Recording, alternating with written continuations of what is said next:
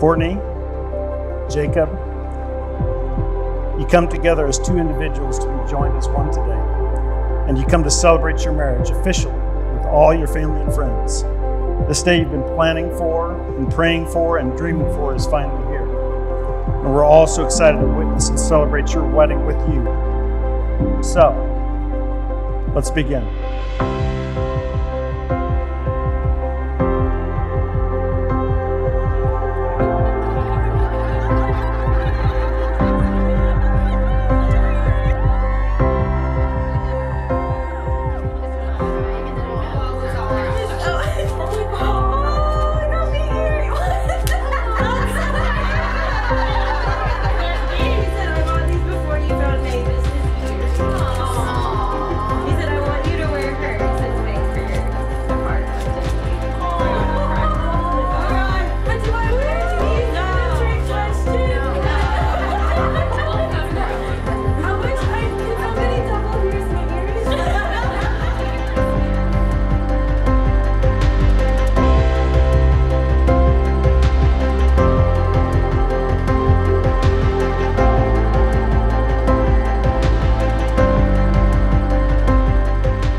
While love is often thought of as an emotion, Paul, the writer of Corinthians, describes love as an action to be taken, a choice to be made. I promise you that your marriage will be at its healthiest when you choose to believe the best about your, your new spouse. It'll be at its healthiest when you choose to trust.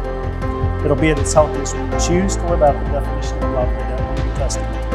And it will be at its best when God is squarely at the center of the relationship.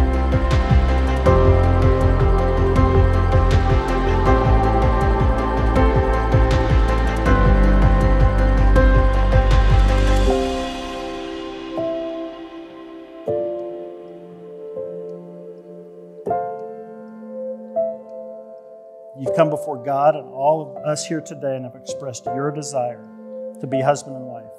You've made promises of faith and devotion to each other through your vows, and you've sealed these promises with the exchange of rings. I therefore pronounce you man and wife. May God bless you and keep you. Jacob, make this your bride.